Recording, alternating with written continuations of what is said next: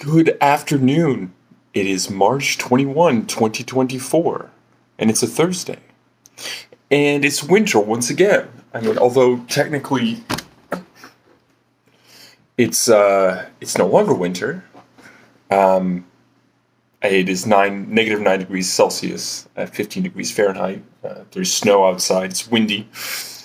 Um a westward wind of uh, 28 kilometers an hour with wind gusts of 46 kilometers an hour. I brought my compost out earlier and it's very windy. I didn't. Uh, went out in my pajamas and uh, it was cold.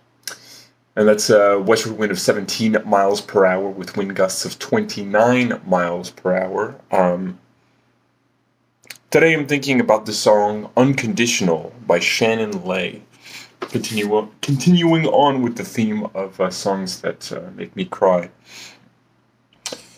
Um, when I first heard this song, I was in a bad mental state, uh, as often happens when I get really uh, fixated on particular songs. I it's one of those signs that I've learned to recognize is that when I'm really, really not doing well psychologically, I'll get super touched by like a particular song and just listen to it on repeat. Once I start listening to songs on repeat, I know that I um, am in the midst of a mental health crisis. But this song, uh, I don't want to say unfortunately because it's just like my personal preference, but I'm a little bummed that Shannon Lay does not really have any songs that are like this one. Other songs are like this one. She's she's a fantastic artist.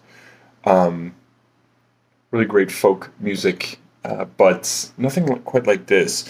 And this is, I've got a soft spot for uh, succinct and direct music. Like, for example, I was thinking about one of my favorite songs, Heart My Heart by Jason Molina, which is just like probably the most direct and succinct description of depression that I've ever um, come across in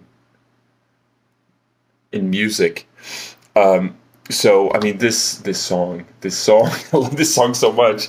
It's it's a song that I have to usually listen to a few times, just because it's like and it just it mm, comes and hits all these things like like the repetition of uh you know because they'll take what they want and they'll give nothing back to you. Higher up at the end and the little when she's like I can't do this because I'm an awful singer, but when she sings it's true at the end and it just goes down. I like it a lot. But um, you know, not only is it this very direct um, call to just doing whatever you can to be okay in this very sometimes very cold and unforgiving world and life. You know she's talking about how she she can't escape either you know and I can't escape through the wind and the rain, through the nights and the days. I just do what I can to get through. Um, but also, I, I'd say what I find particularly beautiful about this song is also the choice that she has made as an artist to to continue to make art, and this you know ties back to um, what I was talking about. What I found to be so powerful with uh, "Exegetic Chains" by the Mountain Goats it might seem like uh, I guess like what is that called? Survivorship bias? Where like basically if somebody like succeeds in something they'll say like oh well you know this is just what you have to you have to do x and y and you'll be successful in this thing. Yeah but there's also the possibility that most people aren't successful in that. That also applies to art right? Where i think one could uh, criticize an artist that is calling on others to stay strong and keep making art. Um, you know, to be biased if that artist has some sort of success, because most artists aren't going to find that sort of success. Shannon Lay is a professional musician, um, and uh, she's on a record label. She tours around. I don't believe she has another job, so that is a very small small percentage of people making art, making music, are going to have that as a job. But still, you know, when she sings, "If the sound's going to come, I'll deliver it to you. I will listen when it calls. and I will sing to you, and I'll always be singing to you, and I'll always know how always know how hard it is to get through. Call it what you will, don't say no, just say you do. Unconditional. I think it speaks more to a choice. Unconditional. You know, she's going to keep making that art and she's going to keep singing across the void regardless of what happens. And that's something that I've been feeling like I've been struggling with recently is like this feeling of of uh, futility in trying really hard and putting in all the effort and the hours and hours of work to put out music that isn't necessarily going to give me whatever like return or result that I feel like it deserves, you know? I think this is something that a lot of people struggle with. But this song is really inspirational to me because she's saying it's like it is unconditional. She's made a choice. You know, keep me hung in a wall, keep the sound in the air, keep what you love so much, do everything you can to take what you want and to get what you need and to do your best to get through. You know? Because she's trying her best. And, and and one of the ways that she's that she has chosen to try her best is to unconditionally make this art and to and to keep that sound in the air. And it doesn't matter if anybody's listening to or not. It doesn't matter what the impact is. It uh, what what the impact is from it. Sorry.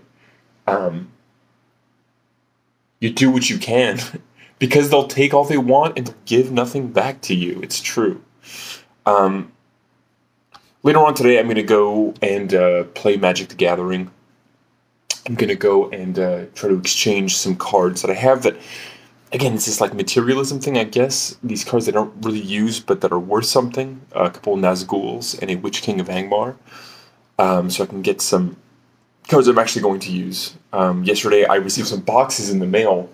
These expensive boxes, they were like four dollars each for these fucking cardboard boxes, but they are the correct size, and they have a acid-free, excuse me, cardboard to start um, organizing my collection of cards uh, so that they're not in the way. And it was boring and it hurt my back to do. It wasn't sitting well, but uh, it is another step, another small step towards just feeling like a human being again. Uh, later on today, I'm not going to uh, be super excited to leave the house because it's still going to be cold.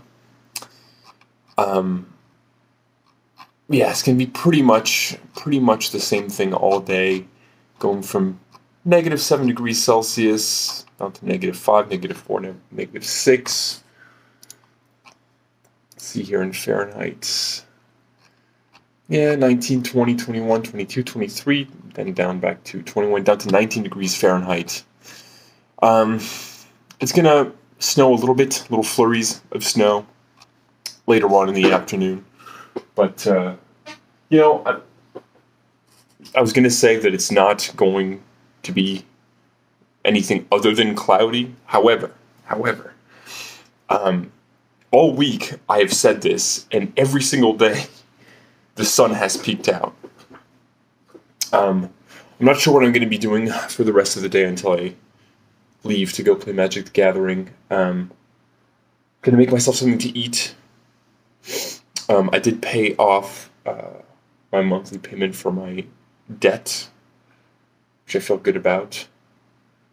Um,